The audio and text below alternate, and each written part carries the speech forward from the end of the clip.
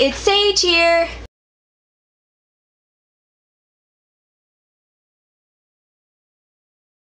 And I'm gonna be making hot chocolate!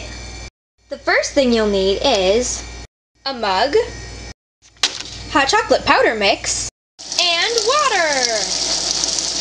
First, take your gigantic mug that's way too huge for you and fill it up with water. I'm just gonna have mom do this step. About good. Now, open your Swiss Miss packet. Or any kind of hot chocolate you buy. Ugh, I can't open it! Ah! Ah! Saige! Yeah? Did you try the tear? Oh, okay. Wait, where is it? Oh, I see it. If you can't open your Swiss Miss package, try having adult supervision. Or just use the tear here. now that you finally have your packet of hot chocolate opened, pour it in the mug.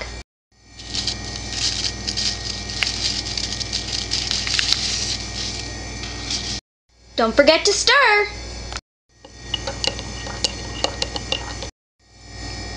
Uh, Saige?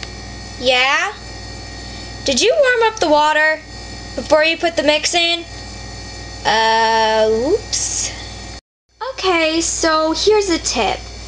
Don't do what I do and warm up the water before you put the mix in, or you have really chunky chocolate. So now let's try warming it up. Okay, my hot chocolate's in the microwave and ready to go. I'm gonna warm it up for 1 minute and 45 seconds.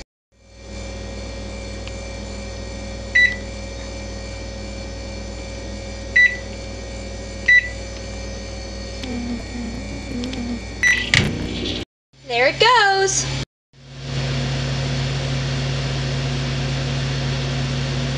This is what your hot chocolate looks like after it's been warmed up when you did the wrong thing. Not too appetizing, but you can always stir.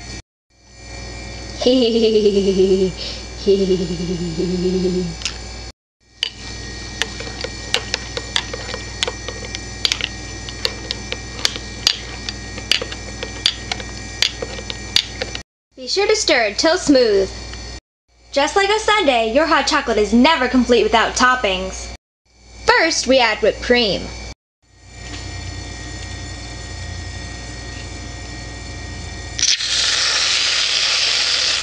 Perfect.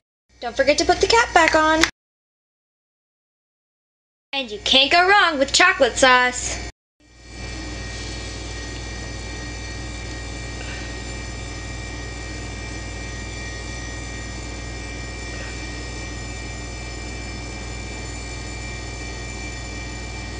Mmm, looks good. Now it's time to enjoy your delicious creation.